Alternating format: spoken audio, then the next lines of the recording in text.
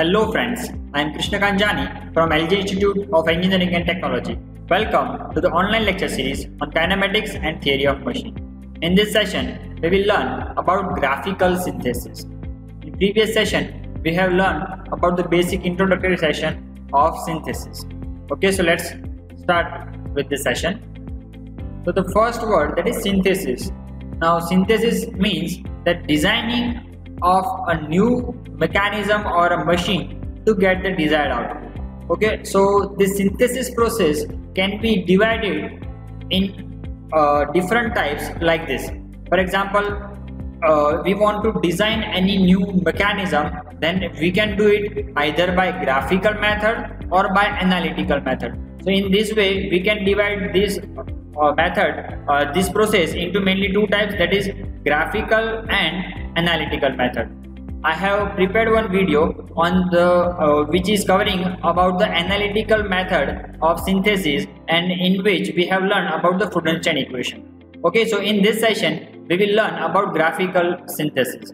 Now, analytical method sometimes consumes more time and it is quite complicated uh, to solve the numerical.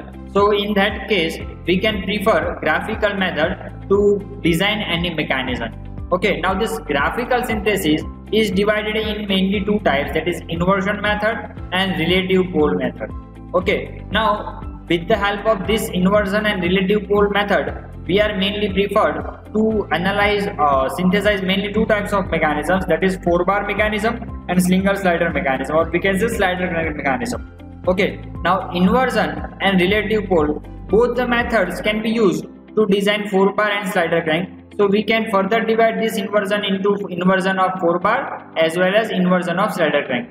Similarly, relative pole mechanism for 4 bar as well as relative pole mechanism for slider crank mechanism. Okay, further these methods are divided into mainly two types that is two position synthesis and three position synthesis. Similarly, slider crank can be done by two position and three uh, positions. So in such a way, but the overall classification if you focus then synthesis um, is mainly classified into two categories that is graphical and analytical and in graphical they are mainly classified into two categories that is inversion method and relative pole method okay in this session we will focus about relative pole method okay so let's start with the relative pole method so the first thing that comes in our mind that uh, relative pole it means we have to identify some uh, fixation point about which the mechanism is assumed to be rotating. Okay, let's consider one example. If we consider a 4 bar mechanism, okay, let's consider a 4 bar mechanism which is having initial position like this that it is made up of mainly 4 links. Let's consider A, B, C, D or we can say 4 links are assumed to be position like this okay now the second position if we assume that if uh, after some time it reaches to its second position which is like this or we can say let's uh, consider a 90 degree rotation. So after some uh, rotation it will move like this. And similarly your link uh, link number 2 will be reaching to this position. And due to this position link number 3 will move from its position. Let's consider like this. And due to that your link number 4 will be positioned like this. Okay so now if we assume that this link number 3 which is if we find out that about which point we can assume this the motion of link number 3 then we can simply consider that if we rotate uh, if we consider uh, if we draw midpoint of this uh, first to second position. And similarly if we uh, plot out uh, midpoint of its final position such like uh, if we consider C and C1 point so if we rotate this like if we rotate this link then the midpoint will give us the interpoint like this. So this point can be assumed to be a center point about which the whole link number 3 is rotating. Okay and that's why we can say it is a relative pole or a fixed point. Okay let's consider uh, this figure properly. So if we consider that it is the initial position if we notify the initial position as ab1 ab1 to ab2 it is rotating with this angle. So the first position to second position movement is notified as theta 1 2 okay? Here you need to remember this uh, notations also. So if we consider that uh, input link is rotating from its first position to second position then the angle between this first to second position is termed as theta 1 2 and due to this theta 1 2 input your output link let us consider as c1d link this c1d is rotating to its c2d position. Okay so over here its initial angle which is known as a output angle phi is moving from its first position to second position that is phi 1 2 okay so if we use this type of notation that is uh, 1 2 they uh, defines that the input angle motion from 1 to 2 similarly phi 1 2 defines the output link motion from angle 1 to 2 okay so now if we want to find out the fixed point about which we can consider this b B1 C1 link to be rotating it. if we want to identify the center point for this uh, link rotation then we can simply consider B1 to B2 take perpendicular from that point and similarly C1 to C2 take perpendicular from its midpoint. So this intersection will give us the point. Okay and we can assume that link number if you consider this one as link number 3 if we consider this one as link number 3 okay so B1 C1 okay so this b1 c1 link can be assumed to be rotating rotated about this p point. Okay so this p is known as a relative pole. Okay so simply we can say that when a body or a link in a mechanism move from its first position to another position and it is desired to guide the position that how it is occurring then such task can be fulfilled by simply considering that the rotation of the link about any fixed point which is known as a pole. So over here we can identify that how we can guide this motion then we can simply consider that it is a uh, pure rotation. And they, uh, to identify the center of this pure rotation we can consider this one as your pole point. Okay? So in this way we can design we can design various four bar mechanism or in, uh, in the, with the same route we can also design single slider mechanism. Okay, now this relative pole method is mainly divided into two types. That is two position synthesis and three position synthesis. Now, two position synthesis it means that we are familiar with various two position of a mechanism. Okay, so let's consider over here. So for this condition, if we consider that in in this uh, consideration we have uh, in this uh, diagram we have considered that the position from B1 to B2 so that we have two positions different. Initially it is from it is initially it is at b1 position then it moves to b2 position. Okay now uh, and with the help of uh, the, these two positions we are designing or we can calculate the length of the other two elements. Okay similarly in some of the numericals we practice that we will consider three positions. So in that case we will having uh, the data is somewhat like that. We have three different positions of crank. Over here we can consider that b1 b2 and b3 all these three positions are given and with the help of these three positions we will calculate the length of different other elements. Okay? So let's uh, start with the first one that is two position synthesis method. First we will learn for four bar chain mechanism and then we will learn for the single slider mechanism in our next session. Okay? So let's start this session with the two position synthesis of 4 bar chain mechanism. Okay, so in this uh, designing procedure, we are considering that we have initial data such like such that length of first link, length of second link, input link angle theta that is initial position of your input uh, link or we can say crank and theta 1 2 okay? Similarly for output link it is given as phi and phi 1 okay? So we have two different positions theta and theta 1 2 phi and phi 1 2 which is representing the position of input and output. Okay? So how we can start? And we have to find out the length of the rest of the two links. Okay? So over here we can start with the first input data that is length of link 1 is given. Okay? So let's consider this one as your length of link 1 okay this line is representing link number 1 okay so let's consider this one as a notation as a and d point.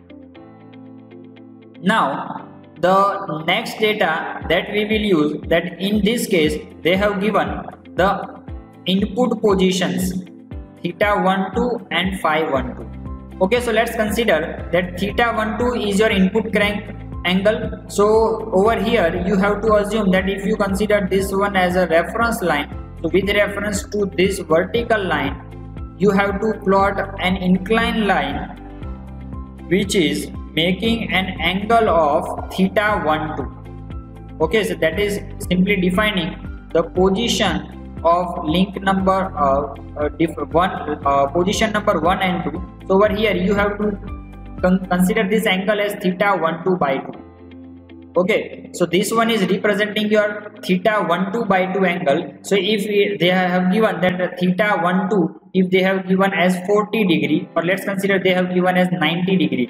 Okay 1 2 position is 90 so over here theta 1 2 by 2 that's mean 90 by 2 so you over here you have to plot line at 45 degree.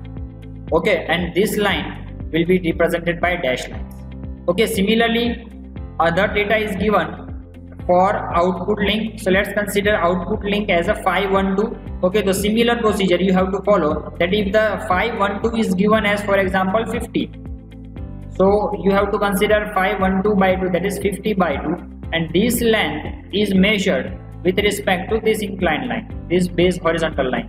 Okay so over here if you consider this one as your phi 1 2 by 2 okay so now you have to draw other dash line which is intersecting with this dash line at point P. So this one is known as a pole point or we can say fixation point. So pole 1 2. Okay, that is for position number 1 2 2. Okay, now the other data which is remaining is theta and phi. Okay, so now they have given length number 2 okay so we will uh, draw link number 2 that is length number 2 at angle theta. So now plot link number 2 that is having length 2 at angle theta. So over here we can consider okay so if you consider this one as your input link so uh, crank. So if you consider this one as theta angle then you can sketch AB line at theta angle which is representing length number 2 okay now after plotting this L1 and L2 now you have to connect this B point with your pole point. Like this. Okay so now this input angle this angle is for pole 1 2 now other data they have given the last data which is remaining uh, remain to be plotted is phi that is input angle or sorry output link angle so over here at phi angle you can plot a line but length of link number 4 is not given.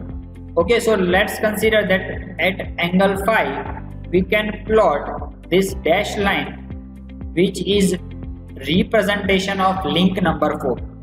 Okay so now you have the input pole angle P12 over here. Okay so take this P12 angle over here this pole angle as your reference angle and the same with the same angle if you consider this one as angle alpha. Okay so with the same angle alpha you have to plot one line by taking this uh, B point and P12 or we can say P12 B point as your reference.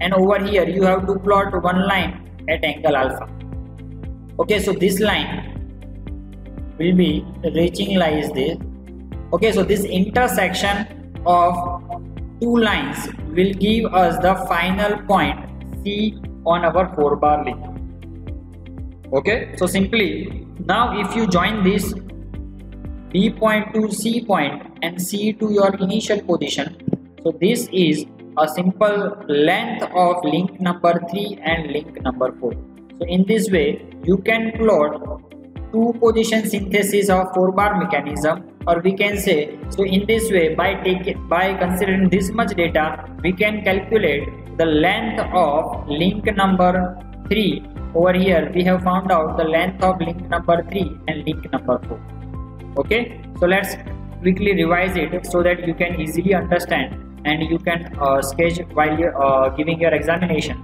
so over here again let's quickly revise. For input link L1 is given. So let's consider first draw a horizontal line which is a fixation link. We consider this one is your link number one L1 now take first theta 1 2 angle. So with theta 1 2 by 2 angle take this horizontal line as a reference and uh, take angle theta 1 2 by 2 in clockwise direction. Over here your input link is rotating in anti-clockwise direction. That's why we have considered it, considered it in clockwise. If it is in clockwise if it is vice versa then we have to assume uh, the we have to consider the theta 1 2 in upper side also. Okay now similarly after plotting theta 1 2 by 2 angle we don't know the position of p initially okay? So now similarly from point d horizontal line again you have to put phi 1 2 as your reference. So phi 1 2 by 2 okay? Take this angle as your reference angle with horizontal and this intersection line will give you point p that is pole point for position 1 and 2 okay? Measure this angle for your reference if you consider this one as your alpha angle. Now input link L2 is also given with angle theta okay so plot L2 link at theta angle. Similarly phi angle is given but length is not given. Okay so next one is as at phi angle plot one dash line. Okay now with with respect to this uh, joining point of pole to your B point now consider alpha as your reference. Same alpha angle and this intersection will give you position of point C okay so in this way you can calculate the length of link number 3 and link number 4 okay so this is the simple method. That is two position synthesis of 4 bar mechanism. In next session we will learn three position synthesis of 4 bar mechanism and various uh, two position and three position for single slider mechanism. Thank you